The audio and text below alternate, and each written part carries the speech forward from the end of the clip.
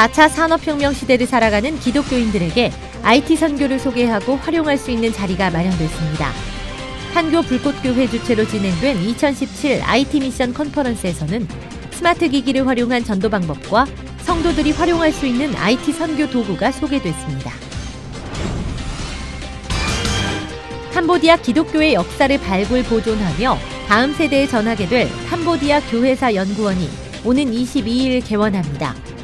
한국 선교사들을 중심으로 출발한 연구원은 캄보디아 교회 지도자와 신학생들에게 캄보디아 기독교 역사의 귀한 자료를 제공하며 협력 체계를 구축할 계획입니다.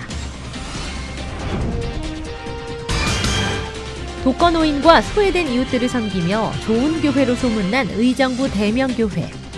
대명교회와 함께하는 지역사회는 언제나 이웃들을 위한 나눔과 섬김의 선교 현장이 되고 있습니다.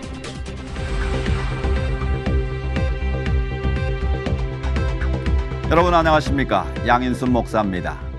탈북자 10여 명이 중국에서 체포돼 강제 북송의 위기에 처해졌다는 소식이 전해졌습니다. 한중 관계가 해빙 모드에 들어가는 분위기지만 북한 문제는 여전히 서로에게 예민한 부분인데요.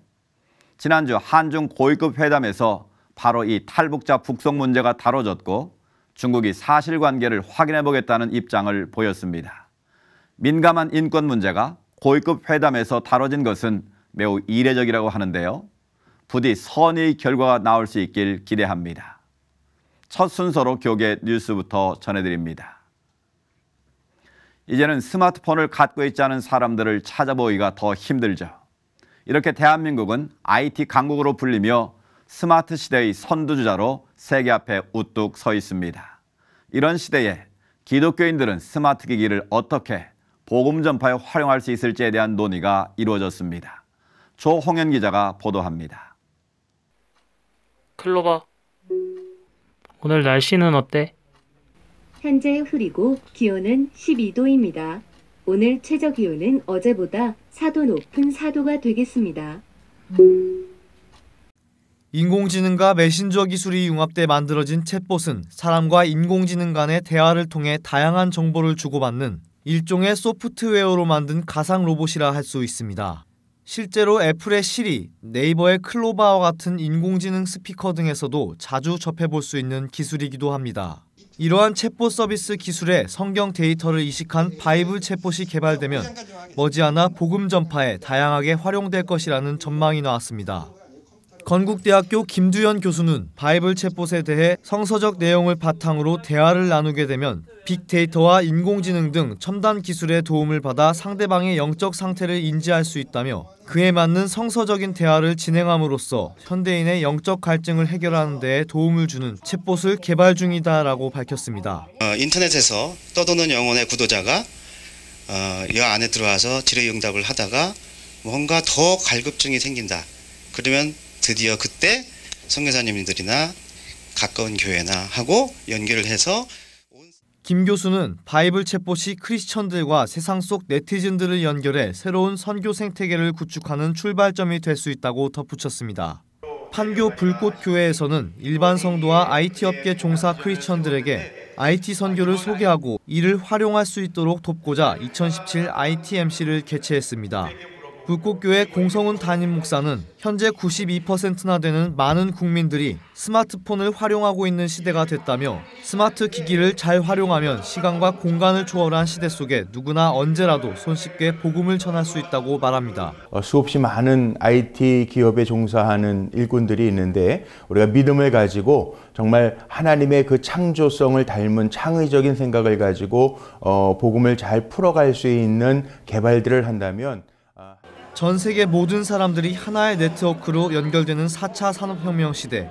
이제는 스마트 기술이 크리스천의 선교 도구가 되고 있습니다. 채널 뉴스 조홍현입니다. 찬양 사역자들을 발굴 전파해온 CCM 오디션 가스펠스타 C 시즌 7 최종 본선 무대가 막을 내렸습니다. 대상은 함께 걷는 길을 열창한 아델포스가 차지했습니다. 김보림 기자입니다. 아가페 문화재단이 후원하고 C채널이 주관하는 CCM 오디션 가스펠 스타 C 시즌 7이 성황리에 막을 내렸습니다. 이번 시즌 7에서 대상을 차지한 아델포스 팀은 계속해서 찬양 사역을 통해 하나님 나라 확장을 위해 힘쓸 것이라고 전했습니다. 여러 분야에 걸쳐서 우리 CCM 문화의 발전이 되는 어, 그런 거에 하나의 줄기가 됐으면 순종하는 마음만 있다면 담대하고 좀 자신감 있고 용기 있게 나아가려는 계획을 가지고 더 기도하며 나가겠습니다. 아델 포스의 곡 함께 걷는 길은 콜라보 작업을 통해 많은 크리스천 청년들이 세상 속에 빠져 있는 것을 안타깝게 여기는 마음을 담아 서로를 붙잡아주며 믿음의 동역자들이 함께 걷기를 바라는 의미로 창작된 곡입니다. 단순한 경연을 넘어 뜨겁게 하나님을 찬양하고 예배하는 가스펠 스타 C는 지난 7년 동안 찬양 문화를 선도하고 발전시켜 많은 크리스천 찬양 사역자들에게 귀감이 되고 있습니다. 국내 다섯 개 지역에서 600여 명의 온라인 예선을 통해 경합을 벌인 가스펠 스타 C의 이번 시즌은 최초로 미주 지역에서도 실시돼 국내를 넘어 세계로 뻗어나갈 신고식을 치렀습니다. 뛰어난 영성과 음악성을 가지고 대회에 참석한 팀 중 예선을 통과한 11팀은 경합을 벌이며 찬양을 통해 동행하는 하나님의 은혜를 맛보았습니다. C채널 뉴스 김보림입니다. 이어서 그 밖의 교계 소식 전해드립니다. 한국 장로교 총연합회 여성위원회가 주최한 제1회 한국 장로교 여성대회가 다시 하나님 앞에서라는 주제로 영락교회에서 진행됐습니다. 최영남 대표회장은 설교를 통해 예수님을 믿는 사람은 늘 낮은 자리에서 섬기셨던 그분의 길을 따라야 한다며 한국 교회를 다시 세우고 움직이는 여성 지도자들은 합심하여 기도해 오직 성령의 임재하심을 구하라고 강조했습니다. 성령 하나님이 우리와 땅 끝까지 세상 끝날까지 함께 하십니다. 한국 교회 회복과 새로운 역사 창조를 이루자는 뜻에서 개최된 이번 대회에서 기독 여성들은 어느 때보다도 교회가 깨어 기도하고 연합할 때라는 인식을 같이 했습니다. 참석자들은 시대적 사명을 감당하기 위해 섬김과 사랑을 실천하는 교회 여성이 되기를 기도하며 결의했습니다. 서울 명성교회 이대 위임 목사로 김하나 목사가 공식 취임했습니다. 지난 12일 저녁 명성교회에서 열린 김사만 원로 목사 추대 및 김하나 목사 위임 예배에서 김하나 목사는 원로 목사님과 성도들이 눈물로 무릎으로 세운 교회를 하나님이 아름답게 이어가실 것을 믿는다며 세상의 지적과 우려에 공감하며 소외된 이웃을 더욱 섬기고 하나님이 기뻐하시는 사역을 해나갈 것이라고 말했습니다. 원로 목사로 추대된 김사만 목사는 38년을 함께 해 주신 하나님과 동역해 준 성도님들께 감사드린다고 인사말을 전했습니다. 이날 예배에서는 바통을 주고받으며를 제목으로 광성교회 김창인 원로 목사가 설교를 전했으며 안산제일교회 고훈 원로 목사가 축시를 낭독했고 대한예수교 장로회 통합 증경총회장 림인식 목사가 축도했습니다. 사회복지법인 다일 공동체가 사단법인 다일 인터내셔널 데일리 다일의 창립 총회를 진행했습니다. 데일리 다일은 해외 빈곤층에 대한 긴급 재난 구호와 자원봉사, 해외 빈곤 지역 등의 의료와 선교, 문화와 보건 사업 등을 통해 소외된 이웃이 자립할 수 있는 터전을 마련하기로 했습니다. 이화여자대학교 프랑스어권 지역문화연구소가 대학 인문 역량 강화 사업의 일환으로 프랑스 모로코 작가 레일라 슬리마니를 초청해 특강을 개최합니다. 슬리마니는 프랑스 최고 권위를 자랑하는 문학상인 공쿠르상을 2016년에 수상했으며 프랑스어 지능을 위한 프랑스 대통령 특별대사로 임명되기도 했습니다. 한국 기독교 복음단체 총연합회가 제28회 정기총회와 함께 2017 한국교회 개혁상 시상식을 진행하고 루터대학교 이말태 교수를 시상했습니다. 이말태 목사는 독일 루터교회 선교사와 루터대학교 교수로서 서울에서 만난 루터를 저작해 종교개혁 500주년을 맞은 한국교회 개혁의 지표를 만든 것을 인정받았습니다. 미자립교회 지원을 위한 농어촌 직거래 장터가 서울 사랑의 교회에서 열렸습니다.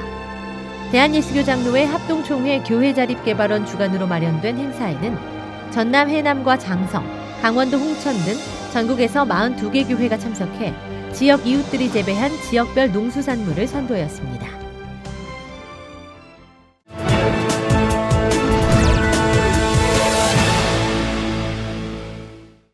캄보디아의 기독교 역사를 연구하고 정리하는 캄보디아 교회사 연구원이 다음 주에 개원합니다. 자세한 소식 캄보디아 장완익 선교사님 전화 연결해서 알아보겠습니다. 성교사님, 아, 캄보디아 교회사 연구원이 11월 20일 개원을 앞두고 있다고요. 먼저 소개해 주시죠. 네, 많은 분들의 기도와 후원 가운데 약 1년 이상의 공사를 거치고 어 이제 그 다, 11월 22일 날 개원하게 되었습니다. 비록 작은 공간이지만 캄보디아 개신교회를 위해서 또 캄보디아 선교를 위해서 어떻게 사용되는 것이 좋을지 기도하다가 하나님께서 그런 어, 어, 안을 주셨고 또 이 캄보디아 교회 역사를 알리는 것이 무엇보다 캄보디아 선교에 중요하다는 것을 저에게 주셨습니다. 사실 공사하다가 여러 번 중단되기도 했고 또 어려움이 있었지만 잘 마치고 이제 개원하게 된 것입니다. 어떤 사역을 하는 곳인지부터 설명을 좀 자세히 해주시면 좋겠습니다. 네, 캄보디아 교회사 연구원은 구체적으로 지난 95년 동안의 캄보디아 개신교의 사진과 문헌 등을 통해서 어, 많은 교인들이 알고 있지 못했던 숨겨진 역사를 발굴하고 또 그런 사진을 중심으로 한 것들을 잘 보존하고 그리고 그러한 자료들을 중심으로 번역이나 또 또 다른 글을 쓴다든지 이런 식으로 해서 주로 연구하고 그리고 마지막으로 그런 것들을 캄보디아 교인들 또는 신학생들, 교회 지도자들에게 전달해서 어, 가능한 범위 안에서 캄보디아 교회사가 잘 전달되고 그러한 것들이 그들 스스로 또 자국 교회 역사를 알므로 헌신할 수 있는 그러한 어떤 분기점으로 삼고 있고 5년 뒤로 다가온 캄보디아 개신교 100주년 역시 준비할 수 있는 좋은 공간으로 보고 있습니다. 그렇군요. 캄보디아 기독교 역사에도 매우 큰 의미가 있는 것 같은데요. 캄보디아 기독교계와도 긴밀한 교류가 있을 것 같은데 어떻습니까? 네, 아까 말씀드린 것처럼 캄보디아 개신교는 95년 전에 첫 선교사가 도착했어요. 그래서 지금 금년으로 95년이 되는데 어, 나름대로 교회에서 연구하고 보존할 수 있는 공간은 처음 마련되는 것입니다. 그래서 이 일을 위해서 어, 제가 비록 선교사지만 선교사가 앞장서는 것이 아니고 캄보디아인 기독교 교계의 주요 인사들이 일을 하시도록 이렇게 했습니다. 그래서 이제 이번 행사도 그렇고 앞으로 연구도 그렇고 그 캄보디아 기독교계 주요 인물들이 인사들이 어, 자문으로 활동하시면서 직접 이끌어 나가시고 그리고 캄보디아 많은 교단들 선교단체가 어, 많이 참여함으로 인해서 5년 뒤로 다가온 캄보디아 개신교 100주년을 위해서 준비하고 그리고 캄보디아 교회의 주인은 하나님이시라는 것을 증거하는 일에 더욱더 힘쓸 수 있게 되었습니다. 네, 기록되고 보존되는 역사를 통해 다음 세대에도 캄보디아의 기독교가 건강하게 전해질 수 있길 저희도 함께 기도하겠습니다. 성교사님 말씀 감사합니다. 네, 감사합니다.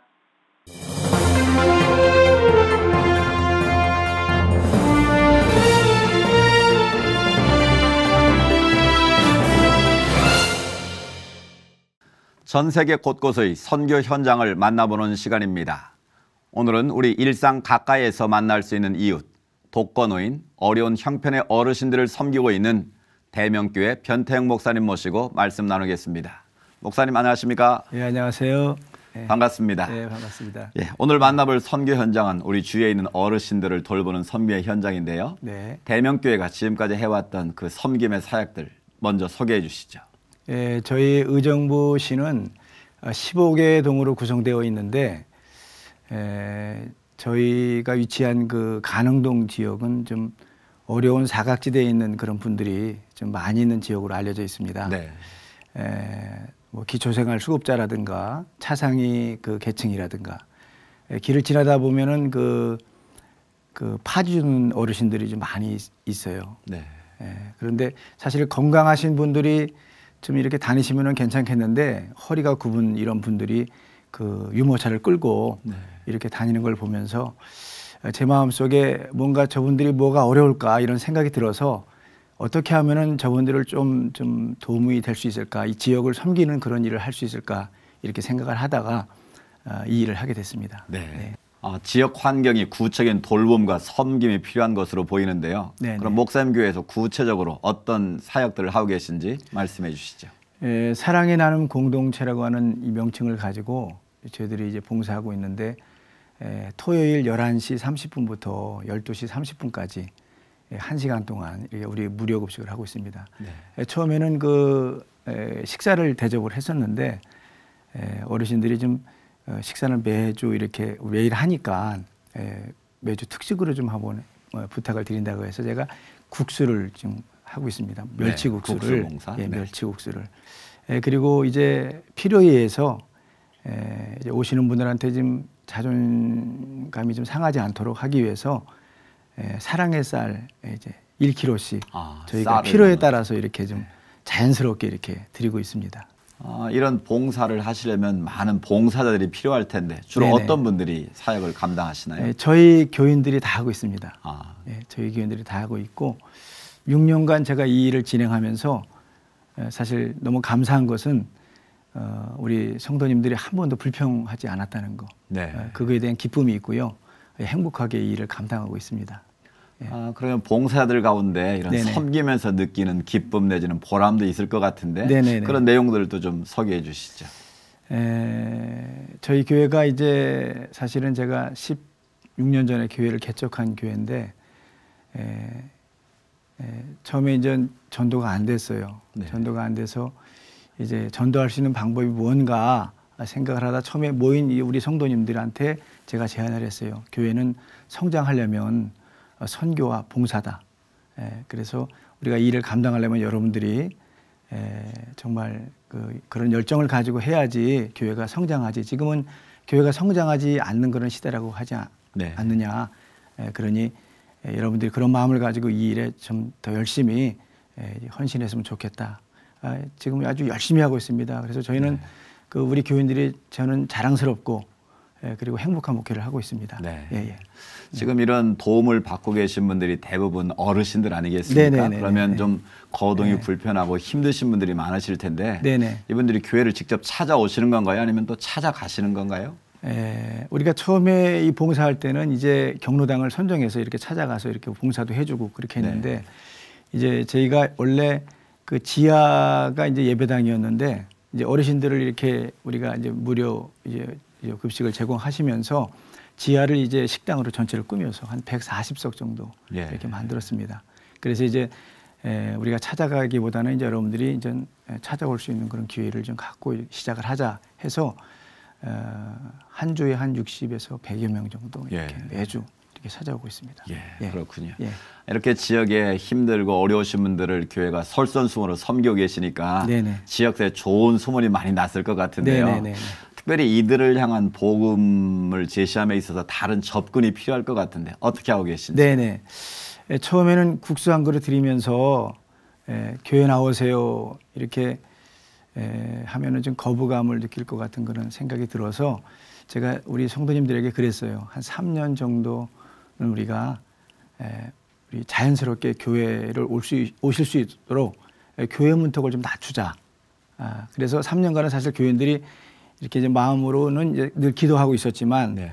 이제 자연스럽게 의 어르신들을 이렇게 대하면서 이제 교회를 자연스럽게 들어오실 수 있도록 그렇게 하고 나서 제가 3년 지난 후에 에, 이제 기도하는데 뭔가 이제 그런 생각이 들었던 게 에, 한 영혼이 천하보다 귀하지 않냐. 저들의 영혼을 또 구원하는 역할도 우리 교회에서 해야 되니까 그 일을 에, 좀 하는 게 어떻겠냐는 그런 그 기도의 음성이 들렸어요. 예. 그래서 제가 이제 토요일 날 에, 한 번은 이제 어르신들이 식사하는 중에 이제 제가 그 자리에 가서 어, 여러분들 에, 에, 국수 맛있게 드셨습니까? 인사 대답을 하시더라고요. 그래서 그런데 제가 한 가지 좀 부탁을 좀 드려보려고 한다고. 네. 어, 그러니까 어르신들이 이렇게 저를 쳐다보더라고요. 그래서 우리가 11시에 우리 예배를 드리는데 에, 여러분들이 어, 좀 시간을 좀 내실 수 있다면 에, 우리 한번 예배에 참석하는 게 좀 어떻겠냐고 제가 제안을 드렸어요. 네. 제안을 드렸더니 첫날 그 다음 날 여섯 분이 오셨고요. 한 달 사이에 스무 분이 오셨더라고요. 예. 그리고 3개월에서 4개월 그 사이에 98명까지 11시 예배에 참석을 했어요. 예, 그래서 에, 지금 평균 이제 5, 60명 정도 어, 우리 11시 예배에 함께 우리 성도님들과 참석해서 예배를 아주 잘 드리고 있습니다. 그렇군요. 예, 예, 예. 아, 이런 섬김과 돌봄의 사역을 일회적인 행사가 아니고 지속적으로 계속 하는 게 결코 쉬운 일은 아니지 않습니까? 네네네. 아, 그렇, 그런 사역을 계속 진행하시려면 특별한 사명과 비전이 필요할 것 같은데 어떻게 보십니까? 글쎄 특별한 거는 그냥 겸손히 하고 싶고요. 네. 예, 그냥 예, 물론 저희 교회 우리 성도님들도 예, 그런 마음으로 감당하고 있다고 생각을 합니다. 예, 그래서 이제 에, 하지만 에, 주님이 기뻐하시는 일은 에, 복음을 전하는 일이 아닌가 이렇게 생각을 하고 네. 아, 좀 전에도 말씀을 드렸지만 한 영혼이 천하보다기 하고 한 영혼도 포기할 수 없다는 그런 그 사명으로 에, 저희 교인들이 하나가 되어서 이 기쁨을 에, 같이 나누고 또 이렇게 조금씩 열매를 이렇게 맺혀지니까 네. 교인들이 보람을 갖고 어, 또 자신감이 있고 어, 예, 전도에 더 열정을 갖게 되고 그런 힘을 갖고 열심히 하고 있습니다. 저희 교인들 화이팅입니다. 네, 네. 예, 예. 아, 지역사회를 섬기고 있는 대명교회 참 네. 귀감이 되고 또 한국교회 도전이 되면 좋겠는데요. 네네. 앞으로 목사님의 비전과 또 기도 제목 좀 나눠주시죠. 예, 글쎄 그 어르신들이 이렇게 오다 보니까 저희 교회 건물이 지하 1층 그리고 지상 4층으로 되어 있는데 예, 공간이 좀 부족해요. 네. 그래서 특별히 이제 어르신들한테 공간을 제공해서 그분들이 뭔가 좀 이렇게 어, 교회 생활을 통해서 더 이렇게 어, 신앙생활 할 수 있는 그런 기회, 예, 또 친교회 공동체를 만들 수 있는 그런 공간, 예, 결국은 그게 교회 부흥이 아닌가 그렇게 생각을 합니다. 예. 네, 목사님 말씀을 듣다 보니 섬기시는 분들의 모습도 또 섬김을 받는 분들의 모습도 모두 행복하시다는 게 느껴져서 참 감사합니다.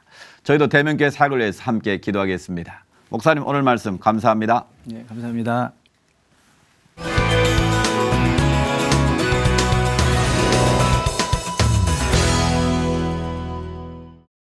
이란과 이라크 국경지대의 지진으로 많은 사상자가 발생했습니다. 인도에서는 숨을 쉴 수 없는 스모그로 큰 불편을 겪고 있다고 하는데요. 지구촌 곳곳이 다양한 이유로 어려움을 겪고 있습니다. 모든 어려움들이 어서 회복되고 해결될 수 있길 바랍니다. C채널 매거진 굿데이는 여러분이 함께하는 방송입니다. 아래 전화번호와 이메일로 언제든지 연락 주시기 바라고요. 인터넷을 통해서도 저희 방송을 다시 보실 수 있습니다. 오늘 순서는 여기까지입니다. 시청해주신 여러분 고맙습니다.